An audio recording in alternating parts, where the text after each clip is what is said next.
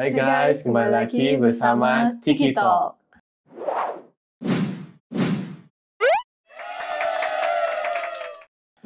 Kali ini kita mau membahas mengenai lima bahasa cinta. Kalau bahasa Inggrisnya ini five love language. Jadi lima bahasa cinta ini Mhm. adalah bagaimana cara kita mencintai seseorang. Apa aja? Jadi lima bahasa itu ada word of affirmation. Eh, Jadi itu kata-kata cinta kata cinta. seperti eh kamu cantik deh hari eh bukan ya ganteng ya harusnya. Oh, eh kamu ganteng deh hari ini. Oh, Misalnya kayak gitu. Kata-kata pujian ya. Iya kayak pujian. Misalnya dia habis dapetin sesuatu, wih hebat ya kamu ya, Oh, kamu udah hmm. bisa kerja keras, pinter, Hmm. kayak gitu. Itu Oke. word of affirmation. Nah yang kedua itu ada yang namanya quality, Quality time. time. menghabiskan waktu bersama orang yang kamu cintai seperti itu. Kan ada ya orang ya yang senangnya uh, hampir tiap hari ketemu sama pacarnya. Ya saya.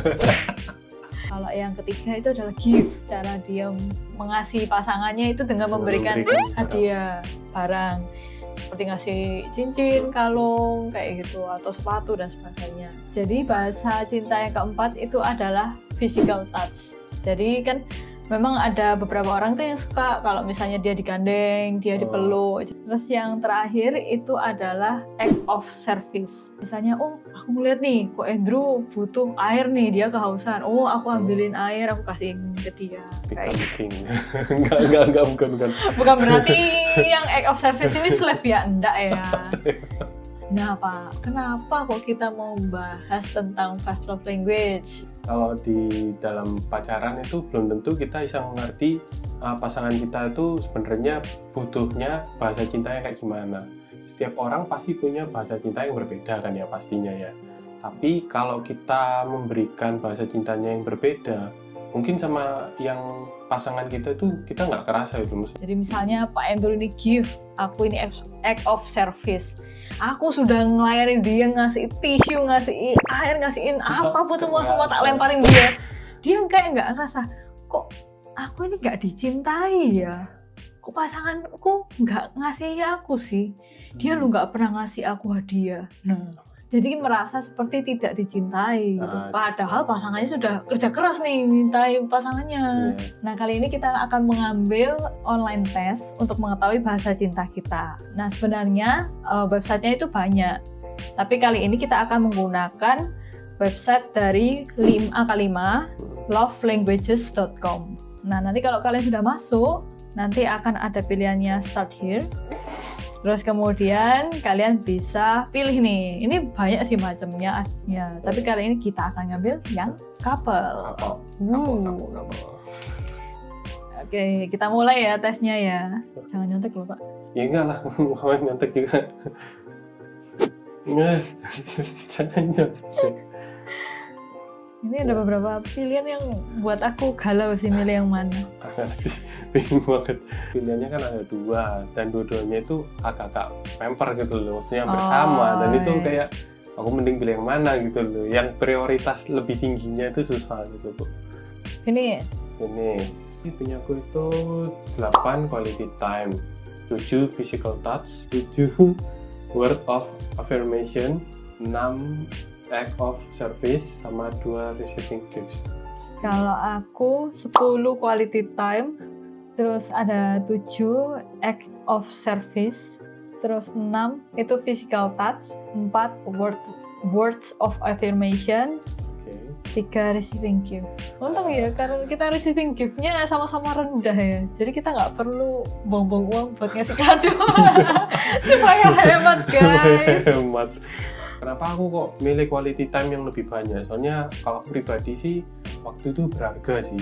Kita nggak mungkin bisa mengembalikan waktu, tapi yang ada itu pasti kan kenangan ya. Eh, dan kenapa yang paling rendah itu receiving gifts, memberikan sesuatu barang itu agak gimana ya kurang aku bilang soalnya lebih ke arah kalau bisa bareng sama orangnya itu lebih mengena sih daripada dikasih barang Ya kalau aku sama itu paling banyak itu quality time. Jadi aku senang sih lah misalnya bisa ngabisin waktu bareng pasangan. Eh, dua tertinggi ya. Yang aku acts of service kamu apa? physical touch Physical touch. Enggak gitu, enggak aku. Aku lebih ke arah yang digandeng tuh seneng sih. Gandeng tuh kayak serasa kayak Meni. nemenin aku dalam perjalanan hidupku gitu. Acts of service. Mungkin aku jadi suka acts of service itu mungkin setelah ketemu dia ya. Kadang ketika aku ngerasa capek, terus kayak ngerasa aku kok sendirian ya kerjanya. Tapi begitu ada pasangan yang bantu aku, yang walaupun nggak diminta itu dengan voluntary dia itu kayak ayo sini tak bantuin nah itu kayak Oh. gitu itu bisa membuat aku kayak jadi kayak ngerasa aman gitu Aman gitu, nyaman, aman gitu. Mm-mm. Oh. Nah, gimana Pak tanggapannya Bapak ketika ngelihat hasil love language-ku ini? Ya menurutku sih apa yang aku rasakan selama pacaran sama ibu ya sesuai sih. Ya maksudnya apa yang kita lakukan tuh kadang ya nganggur ngapain nggak tahu tapi Pengen aja bareng. ingin aja bareng sih. Nah, tapi yang aku Hmm. kaget dari hasil tesmu ini adalah yang kedua ini malah Physical touch. physical touch. Orangnya tuh peka banget sih. Terus kayak seneng bantui. Jadi kayak ngelakuin hal-hal kecil yang bahkan aku nggak mikir sampai segitunya, tapi sama dia itu dilakuin gitu loh. Aku kira dia acts of service. Berarti aku harus lebih banyak memuji kamu ya. Karena aku bukan tipe orang yang suka memuji sih lebih tepatnya. Terkadang apa Mm-mm. yang aku sudah kerjakan tiba-tiba bisa kok, pinter kok, eh gitu kayak perjuangan hasil kerasmu ini dihargai. dihargai. Ya, ya itu itu kerasa sih. Berarti aku harus lebih banyak memuji dirimu. Hei, hari ini kamu kurusan. Gendeng. Kamu mau aku kayak gitu. Nah, bagi kalian sekarang mungkin sudah memiliki pasangan, ya ya. Mungkin kalau misalnya belum tahu tentang love language ini, mungkin teman-teman bisa coba ambil tesnya. Teman-teman sama pasangan temen. Hmm.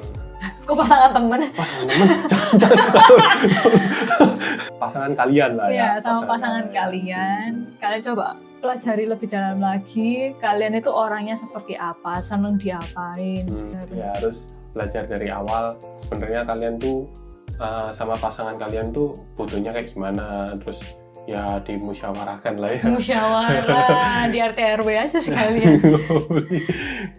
ya jadi sekian video kita kali ini Bagi teman-teman yang ingin kita membahas tentang apa, Hmm. bisa tulis di kolom komen ya. Nah, dan jangan lupa pancet tombol like, subscribe, dan tombol lonceng agar kalian tidak ketinggalan video kita selanjutnya. Sampai jumpa di video selanjutnya. Cikindut. Bye. Bye-bye.